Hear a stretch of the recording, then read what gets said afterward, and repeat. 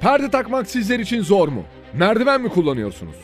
Sandalyenin üzerine mi çıkıyorsunuz? Yükseklik korkunuz mu var? Tansiyon hastası mısınız? Düşme tehlikesi mi yaşadınız? Veya düştünüz mü? İddia ediyoruz perde takmak artık çok kolay. Korniş batikle perde takmak sadece bir saniye. Sevgili izleyenler Türkiye'de ilk, dünyada ilk. İşte size huzurlarınızda Kornişmatik. Ve Kornişmatik'le artık evinizdeki perdelerinizi bir saniyede takacaksınız. İşte bir saniyede perde nasıl takılıyor? Sevgili Kerem'i izliyoruz sevgili izleyenlerimiz. Bakın nasıl olacak. Şimdi evet. bir saniyede perde nasıl takılıyor? Korniş matiğin ucunu kornişin girişine dayıyorsunuz sevgili izleyenler aynı bu şekilde. Ve bakın tam şu bölmede bir tutma yeri var.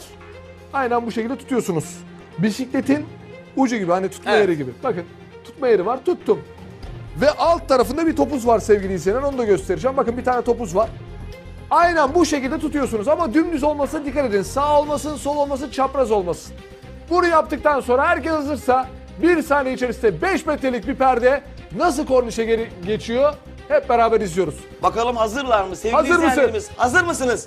Lütfen bakın korneşe bakın. Bu arada bütün korneşlere uyumlu olduğunu söylemek istiyorum. Evet, çok önemli. hazırız. O zaman 1, 2, 3 diyoruz. Türkiye'de ve dünyada ilk işte karşınızda korniş patik. Marifeti burada. Kendi gözlerinizle gördünüz. O zaman bir daha deneyelim mi? Defalarca ben bu arada zaman- kırılmaz olduğunu söylüyorum. Birebir değişim imkanı olduğunu söylüyorum sevgili izleyenlerimiz.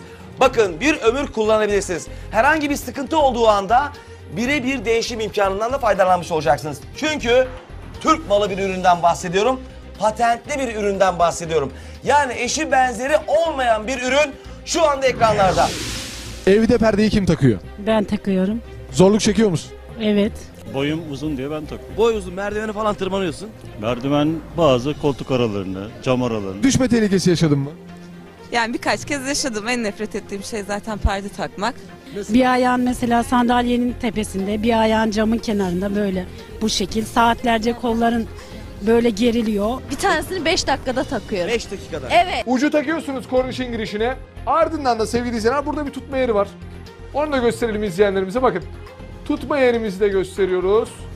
Çok basit değil mi? Çok basit ya çok keyifli. Buradan tutuyorsunuz sevgili izleyenler. Alt kısmında da bir tane topuzu var. Onu da Ben göstereceğim. hazırım. Şöyle gösteriyorum. Ve sevgili izleyenler televizyonlarını yeni açanlar.